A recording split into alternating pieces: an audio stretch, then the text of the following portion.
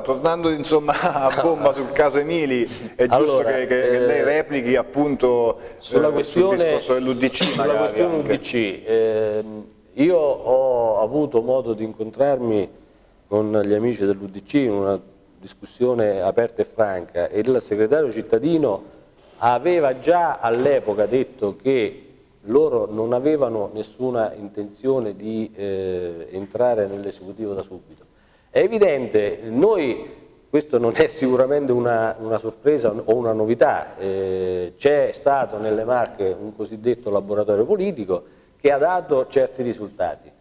Eh, questo laboratorio politico ovviamente non potrà non ripercuotersi anche in ambito locale in un'ottica che si sta verificando, si sta aprendo, si sta- ci si sta confrontando e, e anzi sarà sempre più eh, diciamo, pregnante, sempre più eh, assidua la, la- la frequentazione con tutti gli altri partiti, non solo con l'UDC, con l'UDC e con tutti gli altri partiti per, per sviluppare un discorso analogo a quello che è successo in, in ambito regionale.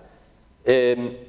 quindi la- l'apertura di Gaspari io l'ho intesa in questo senso, anch'io ho letto eh, il giorno dopo sui giornali eh, no, queste dichiarazioni. Per la verità, a onor del vero, devo dire che alcuni giornali lo hanno riportato con un taglio, altri con un altro, io non ero presente, però lo spirito sicuramente era quello di dire noi abbiamo avviato un percorso con l'UDC, lo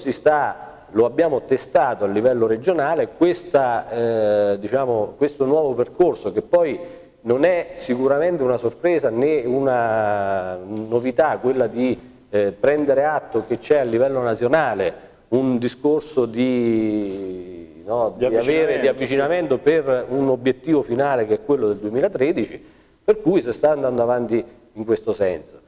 Per quanto riguarda il discorso regionale, eh, io non ho notizie, come credo la stragrande maggioranza di noi, perché da quello che mi risulta fino a dati ieri sera a mezzanotte inoltrata, eh, che c'è appunto questa diatriba con i Verdi che sembra che insomma, stia facendo una sorta di braccio di ferro, stiamo eh, vivendo minuto per minuto questa situazione, io credo che eh, il governatore Spacca troverà, come si dice, la classica quadratura del cerchio perché non, non posso immaginare che si possano creare situazioni di attrito nelle Sarebbe una bella botta, insomma. Sarebbe sicuramente una- una- un bel calcio negli stinchi che, Che a non parte credo le dimissioni possa... dell'assessore Canducci ci sarebbe anche un consigliere comunale, Ma- Marinucci, che in consiglio non avrebbe più... Ma non avrebbe, non sarebbe, non avrebbe neanche- ma se, se mi consentite, non sarebbe neanche eh, immaginabile neanche dal nostro elettorato, insomma? Perché se è veramente quello che si legge corrisponde a verità, ovvero che c'erano stati comunque delle- degli accordi presi, io credo che gli accordi vadano eh,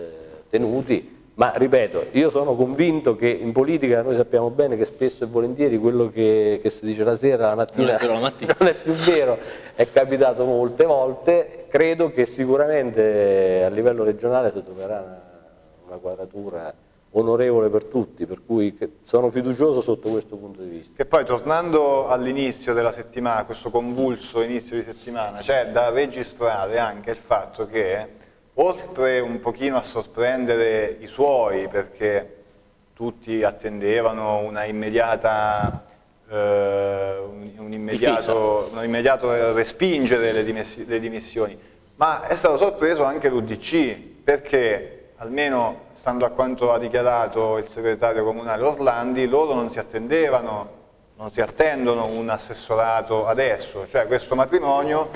eh, si attendevano che venisse sancito alle prossime Ma elezioni. infatti questo corrisponde appunto, questo convalida quello che stavo dicendo poc'anzi, cioè noi quando ci siamo incontrati l'UDC non ha espresso assolutamente nessuna volontà di entrare oggi nell'esecutivo.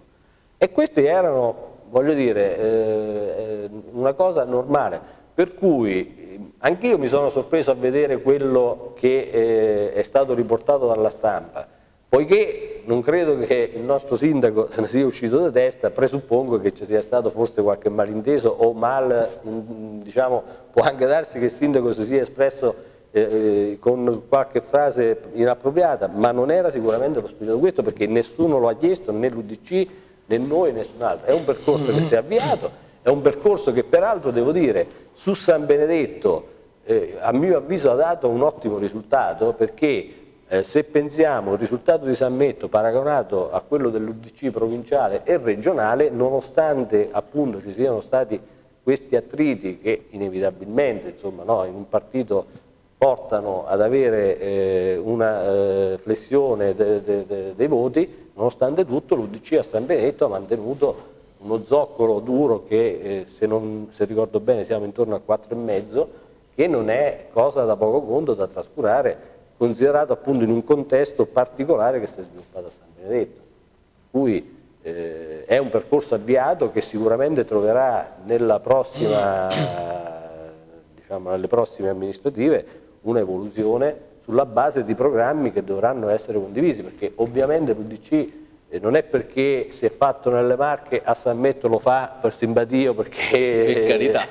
no, in un certo senso si può dire che eh, forse l'esperimento, a San Benedetto è stato anche eh, precedente rispetto all'alleanza regionale e in questo ovviamente c'è stato un grande ruolo del parlamentare Amedeo Ciccanti che ha tessuto le, contatti, è spesso in visita dal sindaco, anche domani forse ci dovrebbe essere un incontro. Questo è un fatto che molti contestano per il, per il discorso che comunque criticano questa intromissione di Ciccanti nelle dinamiche politiche sanbenedettesi con, quali, con le quali lui, almeno a livello di rappresentanza territoriale, avrebbe ben poco a che vedere. Poi c'è un partito, l'UDC, che comunque è spaccato perché sta di fatto che due terzi dei suoi consiglieri comunali non appoggiano questa linea. Quindi insomma la situazione è bella ingarbugliata, assente. Ma Voi farei, come la vedete dall'esterno? Io, io, farei anche mh, questa considerazione, non i due terzi, ma tutta l'UDC eletta, realmente eletta, perché i due consiglieri, Lorenzetti e Nico, sono stati gli unici due ad essere eletti per l'UDC nel 2006 ripeto, Costantini è stato eh, acquisito, eh, tra virgolette ovviamente, imbarcato in corsa, quindi eh, tutta la, la, rappresentanza, la rappresentazione locale dell'UDC è contro questa linea. Perché? Perché i buoni consiglieri Lorenzetti e Nico si sono candidati con questa idea di alternatività di, eh, alla sinistra che comunque li caratterizza e li sta tuttora caratterizzando, per carità. Eh, ripeto, accettare dei diktat romani o dei diktat eh, nazionali o comunque da chi rappresenta e eh, fa il parlamentare in questa regione poi diventa anche difficile. Loro comunque sono comunque ligi e, e fedeli a quello che hanno, hanno, chiesto in campagna elettorale, quindi rimanendo da quest'altra parte, o comunque non, non schierandosi apertamente. E, mh, però volevo dire anche questo, che praticamente questo eh, discorso che fa il sindaco del lunedì sulla eh, questo sbilanciamento in avanti sull'assessorato, sulla proposta di entrare in esecutivo, eh, eh, rientra in quella logica di confusione che anche ingenerò con il caso Ballarin, che, in una notte eh, in consiglio comunale disse tac, ho la bacchetta magica, risolvo quella questione, così lunedì tac, entra l'UDC in, eh, in, esecutivo, spiazzando tutti, forse anche, forse anche se stesso, perché se poi è vero, come è vero che il segretario comunale smentisce categoricamente, magari non so se smentisce sulle partecipate, eh, questo non l'ho seguito bene. Eh, però se è vero quello che dichiarano praticamente è stato un, un colpo di dato del sindaco ma Beh, no, sulle partecipate dicono che sarebbero interessati. Sarebbero interessati per carità quello nessuno a una multiservizi nessuno, in nessuno, penso che... il segretario si, si vociferava sul, si leggeva sul giornale eh, per quanto riguarda, forse lui l'aveva intesa il sindaco come una sorta di, tra virgolette, contentino, comunque di imbonimento, o comunque anche di regalia, chiamiamola così, di aver aiutato una compagine eh, il 23 dicembre, quindi forse in questo senso ha voluto accontentarli. Eh, certo l'UDC, eh, pur avendo questo sbilanciamento a sinistra, diciamo che ha, ha rifiutato.